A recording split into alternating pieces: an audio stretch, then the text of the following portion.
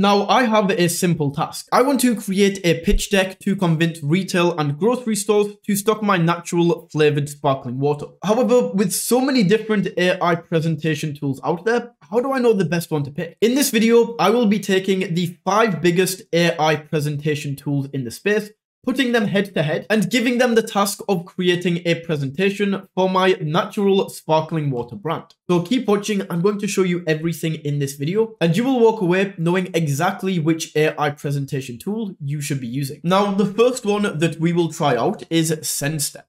So as soon as we load into SendSteps right here, it's going to ask us to enter in the prompt.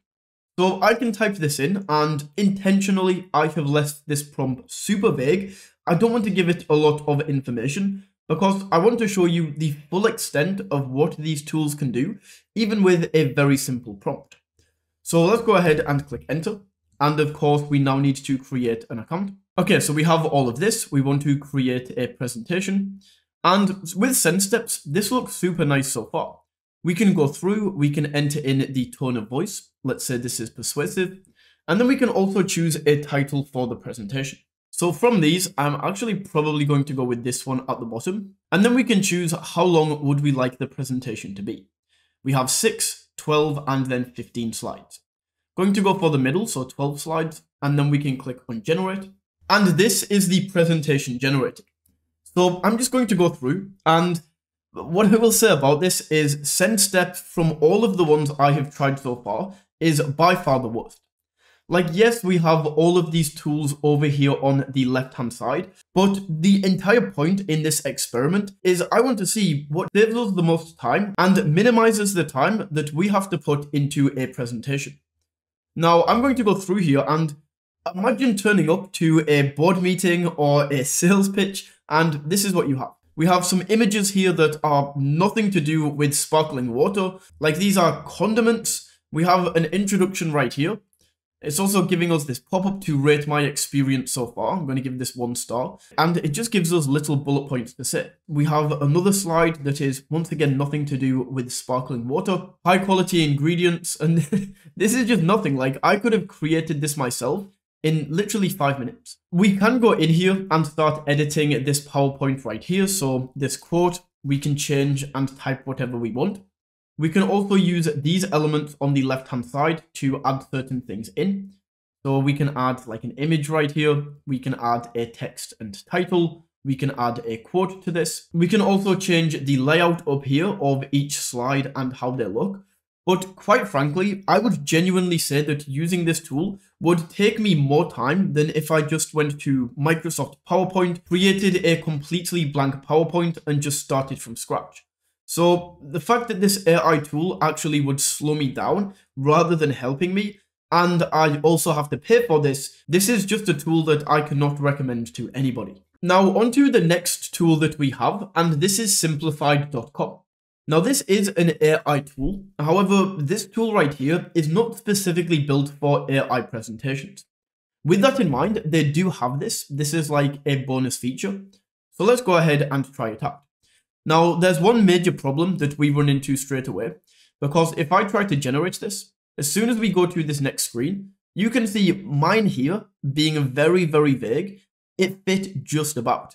But if I wanted to put in some more detail, like you definitely would if you were actually creating a pitch deck with this, this 20 word limit, I don't know why they have it, but it is super, super limiting. And it really limits the things that you can do with this tool.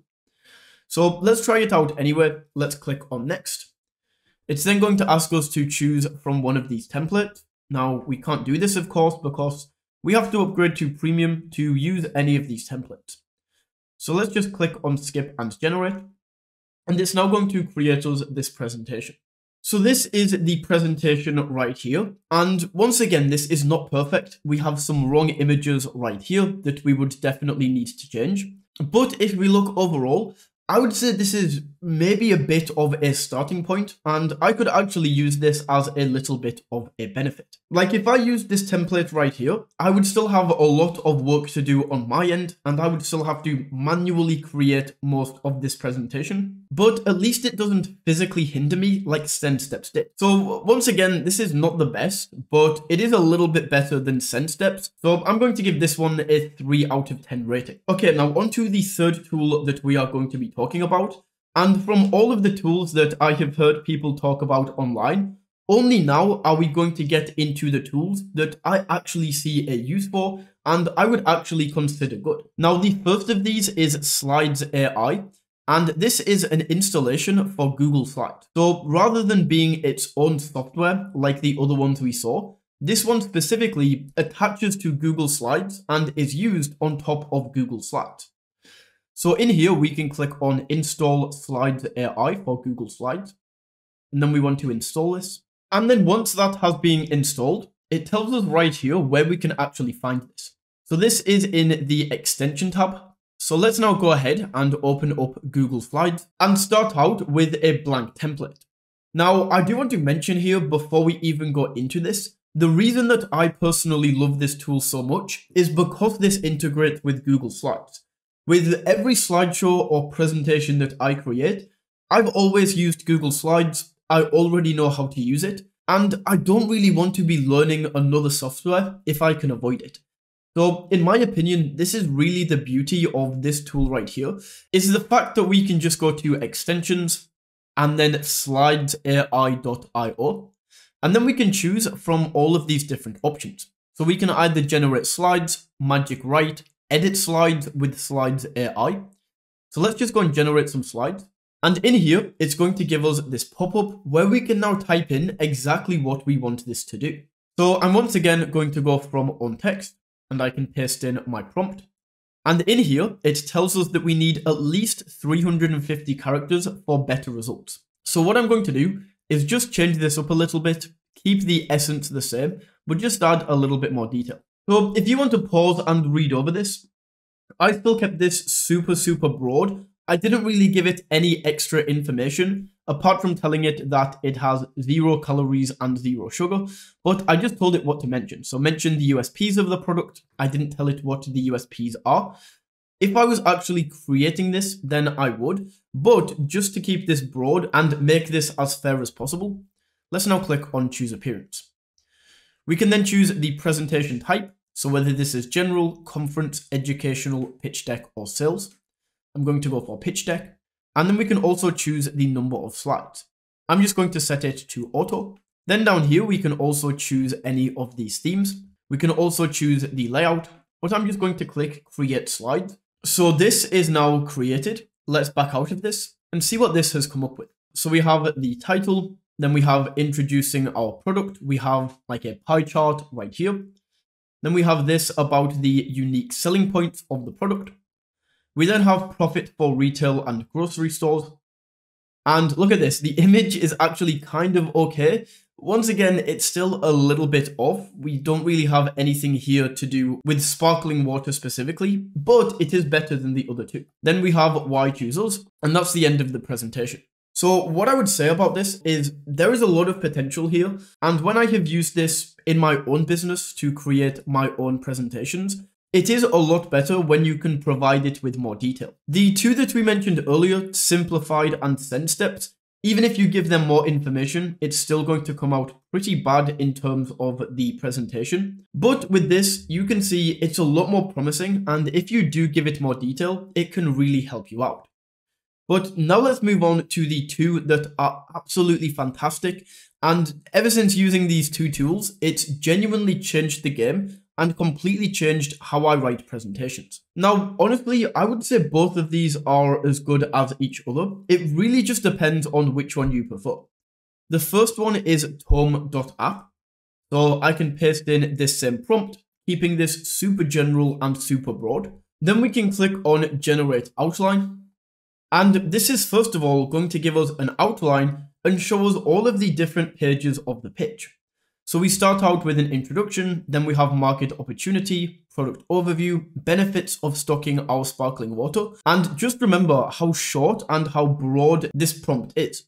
With the other ones, we definitely needed to give them more information, but with this one, it's taken this small amount of information that we've given it and came up with all of these different areas without me telling it to do so. So now let's click generate presentation and just look at the difference between this.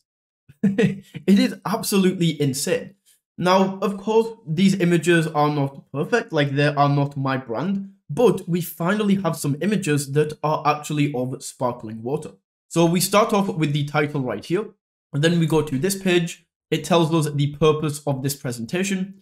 So once again, you might want to go through and make a few changes. Like if I was presenting this pitch deck, I definitely wouldn't be telling the people the purpose of this presentation is to convince you to stock our sparkling water. I would word it a little bit differently. But then we have an agenda showing what this presentation is going over. Then we can see a market opportunity page, the product overview, so key features of the product. We then have benefits of stocking our sparkling water. We can see all of this information right here. It just looks beautiful. We then have a target audience, a fantastic picture right here shows us the target audience. And I mean, look how accurate this is. Who do you think would be interested in buying 100% natural flavored sparkling water? People who are health conscious, millennials, and people who are looking for a healthier alternative to sugary drinks. Then we have this next slide going over competitor analysis. So of course we can change this and add in our actual competitors, but this is a fantastic idea that I can now run with and I didn't have to come up with myself. So once again, this is absolutely something that you will have to go through and add a few adjustments yourself. But compared to the other tools that we looked at, just how much of a difference this has in terms of the heavy lifting that it does for us. So that is Tome app right there. Once again, we can click in and just make any changes that we need to. If we want to edit these images, we can click on here and then we can change the image. And then the final app that I want to touch on is gamma.app. Now, in my opinion, this is just slightly, slightly better than Tome. But what we can do is generate right here. And then we can select presentation, paste the exact same prompt in. Let's go for 10 cards and then generate outline. Once again, just like Tome, this is going to give us an outline of the entire pitch. So we can add things in if we want to. We can change any of these right here. And then you can see this is going to cost us 40 credits. We can also choose the amount of text per card, whether this is brief, medium, or detailed. And then we can also change the image style of these AI images. So let's click on continue. And then we can see a theme preview as well. So we can skip between any of these. And I'm just going to leave it as maybe this. This is a little bit more health conscious, I think. I think this fits the brand well. So let's go for generate. And that is going to start generating it. So while this is still generating, let's just go back and look through these. And you can see this is a very beautiful template once again. So the text and everything in here is fantastic. Once again, we have accurate images where we have sparkling water, we have bottles of sparkling water, cans of sparkling water. On here, we have the unique and refreshing taste profiles. So we have bold and vibrant flavors, this is making me tempted to, to stock my own sparkling water. Commitment to using only natural ingredients. Health benefits of sparkling water over sugary sodas. Increasing consumer demand for healthier beverage option. So we can see how much that increased the sparkling water market value. We can then see the pricing, profit margins, and once again, like this is a fantastic tool. This is already doing 90% of the heavy lifting for me. And you can really see the difference between Tome and Gamma, between the other tools that we reviewed and the other ones that are not so good. So overall, it is clear that Tome and Gamma are by far the best. You can really pick out of the two of them which one you should be using, but it's definitely one of those two. So those are some AI presentation tools. Hopefully you found this video valuable. If you did, don't forget to smash that like button and tap that subscribe button. And until next time, take it easy.